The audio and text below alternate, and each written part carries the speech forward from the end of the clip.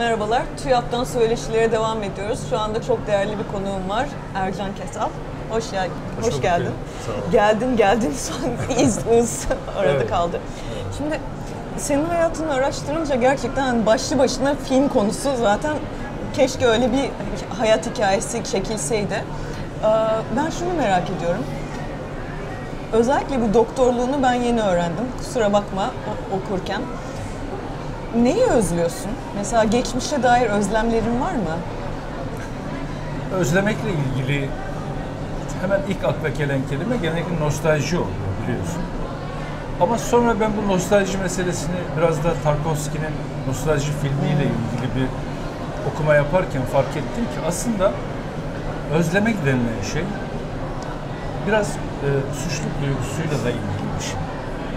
Aslında özlediğiniz şey genellikle çocukluk olur. Bu işte o saf, masum günler olur ama oradan itibaren düşündüğünüzde özlemekten daha çok yapabilecekleriniz varken yapamadıklarınıza ilişkin duyduğunuz kedermiş.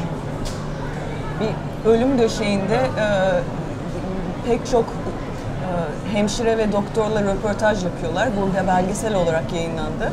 Ölmeden önce insanlar en çok ne diyor? Ah keşke şunu yapsaydım Evet.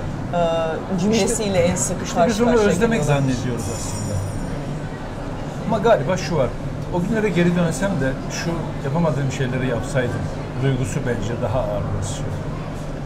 Ama yaşlılık tabii biraz da şunu öğretiyor ki böyle bir şey yok ve işte sen sadece bu önündeki şeylerle artık bundan sonra e, yetineceksin. E, ama bendeki duygu ve doğrusu da bu galiba bir özlem değil, biraz keder, biraz suçluluk duygusu, biraz içinde böyle e, ah keşkelerinde olduğu şeyler. İnsanlar şimdi çok rahat cevap veriyor ya hemen. Keşkem hiç olmadı falan. Bence her şey keşkeyle yürüyen bir şey. O kadar da kolayca e, üstesinden gelinecek bir cevap değil bu bence. Ama çocukluğum, kasabam, annem babam yaşar yaşasaydı keşke. Ve o yaz geceleri, Avanos'un, Kapadokya'nın. Keşke onlar sonsuza kadar sürseydi. Onları istiyorum. Ama olmayacağını da biliyorum. Ee, Şimdi özellikle ben yıllardır şöyle bir şey yaşıyorum. Bir televizyona gittiğimde röportaj yapmadan önce titre olarak ne yazalım Pelin Hanım diye çok sık geliyor bu soru. Senin de yaşayabileceğini tahmin ediyorum. Bu kategorizasyon hastalığının e, yani bu hastalıktan mustarip misin? Çünkü hep böyle herkesi kutucuklara sokuşturmaya çalışıyorlar ya. Tam ya da da bunu itira- itiraz ettiğim tam da bu. Bence bu modern çağın branşlaşma, uzmanlaşma hastalığı. Uzmanlaştığınız zaman doğal olarak bütün bütünü kontrol etmek ya da bütünün içinde yer almak, bütünü takip etmek şansını da kaybediyorsunuz. Ee, ben tam bunun tersini yaparak ayakta kalıyorum. Ee, oku, okurken aslında oyunculuğumu, oyunculuk yaparken yazacağım senaryoyu, senaryolarıma çalışırken okuyacağım yeni bir kitabı. Bütün bunlar birikip ertesi sabah hastamla konuşurken de beni nasıl değişik bir adam yaptığını fark ediyorum. Hepsi Evet. birbirini besliyor. Kes- Kesinlikle. Birini öbüründen nasıl ayırt edebilirsiniz ki? Nasıl? Bu haksızlık bir de. Kendinize haksızlık. Bu yüzden hep söylüyorum ben. Ee, ya Said Faik okumayan bir doktora muayene olmayın falan diyorum ben. Turgut Ya Uyar'dan da haberdar Çehov. değilse, hani Çehov zaten belki hani adam der ki ya bu Rus falan ama peki ya kardeşim Sabahattin Ali'yi de mi duymadın filan dedirteceğiniz doktorlarla temas etmeyin. Çünkü o işte hep eksik kalıyor. Orası eksik kalıyor. Ben yani bunu daha önce söylemedim çünkü belki de ne bileyim bir suçluluk duygusu ama e, hep felsefede doktora yapmak istiyordum. E, master tezimle bir okulun felsefe departmanına gittim. Yazdığım yazarları hiç duymamıştı. Orada yani ben zaten doktora tezimde felsefe ve edebiyat arasında bir yerde yaptım ama felsefe bölümünde yapmamaya karar verdim. Çünkü edebiyattan bir haberlerdi. Yani felsefe ve edebiyatın bu kadar birbirine girift ilişkisine Neyse şikayetlerimi bir tarafa bırak, bırakayım da şey de sormak istiyorum. Şimdi yazarlara, şairlere hep merak ettiğim şey şudur. Bir kitap mı okursun? Mesela bir kitap biter sonra öbür kitaba geçersin. Yoksa hani 10 kitap birden aynı anda okuyup oradan oraya böyle bir Alice Harikalar Diyarında gibi zıplar mısın? Oku, okuma alışkanlığı nedir? Kere kenetlendiğim ve yürüdüğüm bir kitap var mutlaka oluyor çünkü bir şeye hazırlanıyorsun, bir yazıya ya da onu mutlaka okuman gerektiğini biliyorsun ama sanki dinlenmek için ben bir başka kitapla dinleniyorum. Yoruluyorsunuz, o kavramlar falan bir süre sonra basmaya başlıyor. Bir tane gidip bir Refik Halit Karay mesela. Ah, bayılırım. Hemen onunla biraz dinlenip belki sonra takılıp ama galiba beni dipnotlar falan çok etkiliyor. Yani yazının atıfta bulunduğu bir şey bana böyle yeni bir yolculuk da açıyor. Özellikle seyahatname, günce, otobiyografi okuduğum için antropoloji ve psikoloji metinleri okuyunca bu şeyler, e, dipnotlar, nereden, hangisi acabalar çoğalmaya başlıyor. E, o yüzden galiba ikinci gruba giriyorum ben. Biraz böyle Alice Harikalar Atlayan, Diyarı'na zıplayan. takımından. Evet. Antropoloji demişken şu anda insanların halini nasıl yorumluyorsun? Bu yani 100, 100 saat konuşabiliriz bununla ilgili ama yani ilk aklına gelen şey nedir? Bir döngü var. Antropolojideki metinlerden de anlaşılan şu. Bazen bile bile mahvını seyredebiliyor yani yeryüzü ve insanlık. Ve galiba ilk kez yapmıyor. Bu ilk defa bizim başımıza geldi. Belki göremeyeceğiz bu sonlanışı, yeryüzünün sonlanışını. Ee, ömrümüz yetmeyebilir. Yani buna dayanabilir yeryüzü bir süre daha. Ama sonunda belli ki mahvolacak. Ama ondan sonra tekrar bir karbondan yeniden bir şey kuracak. Bu böyle olmuş. Ee, niye bu hafıza, bu mahvoluşu sakladığı hafıza ona niye yol gösterici değil? Ben asıl ona takılıyorum. Belki bu başımıza gelmiş. Belli ki biz ilk defa yani çok büyük bir uygarlık Hititler. Sonra arkeologlar nasıl bu kadar hızla kaybolduğunun cevabını bulamıyorlar biliyorsunuz. Yani bu kadar muhteşem hem coğrafya hem uygarlık seviye anlamında sanki bir gecede kaybolmuşlar gibi. Nasıl bunu becermişler ve hiçbir şey yokmuş gibi biz bunu fark ediyoruz.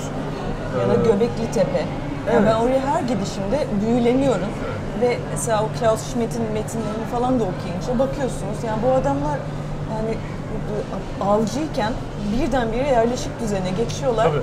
Ve müthiş o monolitik yapıları yapıyorlar. Ondan sonra birdenbire onlar da yok olmuş. Yani Evet. Bu tekrarlanacak galiba.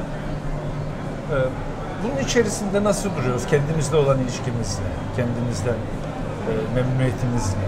Bizim kendi küçücük yolculuğumuz bu kadar bence. Yani baktığınızda insanlık tarihi içerisinde hakikaten muhta bile değiliz ama işte belki de bu fazlasıyla abarttığımız için bunları hala konuşuyor, tartışıyor oluyoruz. geçen gün Carl Sagan'ın doğum günüydü ve o onun meşhur hani hepimiz yıldız parçasıyız diyor ya. ya. Astrofizik okuyunca zaten insan ne kadar miniskül olduğunu görüp bir taraftan da ferahlıyor. Yani ne kadar aslında varız yoğuz hikayesinin ötesinde Evet, evet. bu bana güzel geliyor. Ee, bir soru daha. Demin Çehov'dan bahsetmişken sinema ve edebiyat ilişkisinde e, sence orada bir evlilik mi var? Ee, yoksa Doğru. metreslik hikayesi mi var? Çehov'un dediği gibi. Metreslik kelimesi tabii e, çok 1800'lü yılların Rusyasında, e, yani Çarlık Rusyasında aslında bir kurum. Yani öyle o kadar da e, ne derler, e, olağanüstü bir şey değil. Yani insanların metresleri olmuş ve bu biraz meşrulaşmış da bir şey. Birazcık Fransa'ya da özeniyorlar ya her Galiba. konuda. O yüzden Çehov çok rahat kullanmış onu. Yani birisi karın, birisi metresin diyor edebiyat ve hekimliği ayırırken. Ama asıl hoş olan şu, biriyle kavga edince diyor öbürüne gidiyorum. Üstelik diyor ikisi de bundan hoşnut. Bence son cümle en vurucusu. Mesela ikisini de hoşnut götürebiliyor e, olmak galiba. Ben edebiyatı da sinemayı da Çehov gibi ayırt edemiyorum. Birbirine yardım eden iki kardeş gibiler onlar sanki. Benim böyle etrafımda duran, benim çok yakınım. E, e, böyle bir e- eş ve metres meselesine tabii ki girmem ama ama bu ikisi benim çok yakın iki arkadaşım ve kardeşim gibiler ve bazen biriyle bazen öbürüyle muhabbeti koyulaştırıyorum. İkisi de birbirinden hoşnut bence. Ee, Bir de şimdi hazır TÜYAP'tayken bu kitap fuarlarının senin için ehemmiyetini sorayım ve kapatalım. yani hep gelir miydin? Bu Bizim- gelince Bizim festivallere benziyor. Film festivallerine benziyor. Ve giderek ve Kanda fark etmiştim bunu. Biz Kan'ın kırmızı halısı, işte seremonisi ile uğraşırken ya da onlar bizi öncelikle çekerken orada dev bir film pazarının olduğunu, yüzlerce binlerce yapımcının birbiriyle film alışverişinde bulunduklarını ve aslında lokomotifin orada durduğunu, onlar olmasa da sanki bu kırmızı halıların falan da olmayacağını fark ediyorsunuz. Bunların olması lazım. Olsun. endüstri. Evet yani biz de burada o kendi safiyetimizi koruyarak yer almaya devam edelim. Ben bu sene yani belki de ilk gün olduğu için ama kalabalık ve özellikle gençler çok hoşuma gitti. Geçen sene de tamam çok güzel gençler vardı ama bu sene sanki daha bir gür geldiler. Evet. Hoşuma gidiyor. Bir de yani kapatacağım ama son olarak şunu çok, çok merak ediyorum. Şiiri terk ettin mi? Şimdi çok ne evlat e, muamelesi görüyor ve çok üzülüyorum ben. Yok ben aslında yazdıklarımın içerisinde küçük şiirler yazıyorum. Yani yerleştiriyorsun. Yani yerleştiriyorum. Evet, bilenler, işi bilenler aslında bunu birkaç kez söylediler bana. Abi sen yazıyorsun ama söylemiyorsun gibi. O devrik cümleler, o ses uyumları, mısra içi küçük belki uyaklar filan e, şiirsiz olmaz. Okuyor musun peki şiir? Ee, en zorda kaldığım zamanlar, kendimi en kötü hissettiğim zamanlar e, başvurduğum tek yer onlar. Çok çok teşekkür ederim.